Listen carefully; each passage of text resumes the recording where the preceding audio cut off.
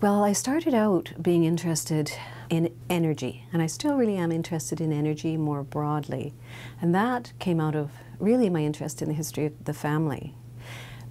Because what was so clear to me when I first started researching the history of the family was all the work that people, but particularly women, had done that actually wasn't considered doing anything at all.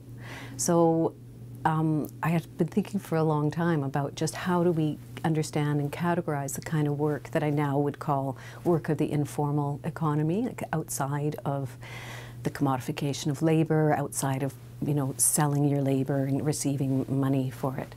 So part of my interest in energy was just that study of like another way of thinking about what people do all day, how they spend their time, is to really focus on how are they getting the energy that they need in order to survive as um, beings.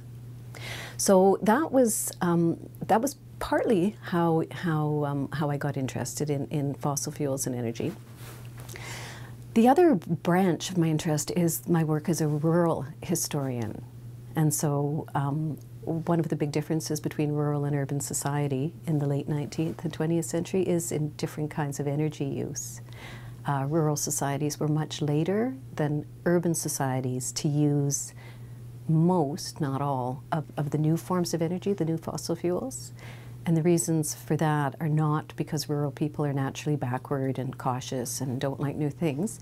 It's because most of the modern energy comes through really complex and elaborate networks that work really well in small condensed spaces like urban areas and don't work so well over the tundra or the prairies or uh, our spaces are just too large in, in Canada for those. They do work now, but it took probably 70 years more uh, later that these changes happened in, in rural areas because of that. So those two areas of my interests, which are the history of the family and rural history, kind of converge on energy. And actually, the, the, energy stuff came directly from oral histories that I, I, did with people when I was interviewing people for an earlier project on the history of Salt Spring Island. Um, those, everybody wanted to tell me about when they first got electricity. And first, I could tell that they really wanted me to be shocked that they didn't get electricity till the 19 60s or late 50s for the most part. And it was such a big deal to them. And I kept thinking, like, why, why are they so keen to tell me about when they got electricity? Like, is this some like coded message for modernity or like what is it?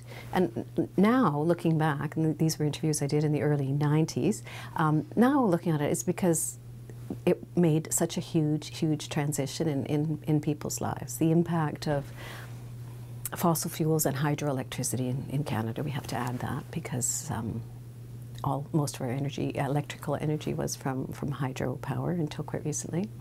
So it's just it's transformed. Uh, you know, really has transformed people's lives. So all those advertisements from the early 20th century that said electricity will allow you to live like a king.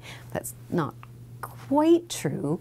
But actually, the reason that our society is so incredibly wealthy compared to any other human society um, ever, I mean, with more people being that wealthy, is because of these new, new forms of energy and power that have replaced um, human labor.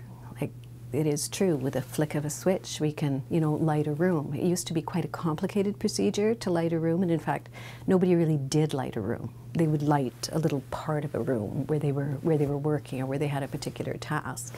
It was the same with heating most people never heated an entire room, let alone an entire house. They just would heat the place where they were, or they would be where the heat was, say around the, the kitchen stove. So, so that's uh, to me the history well, at this point in my research, um, everything is about energy. but in, in, a sense, everything is about energy how we find energy, how we use energy. Um, and of course, now we're living with the byproducts of that decision that we made as a society to move from organic forms of energy, like wood, wind, water. We still, of course, have food that so far is still organic for the most part. Um, but we're living with the consequences of fossil fuels, which are totally, totally different from organic.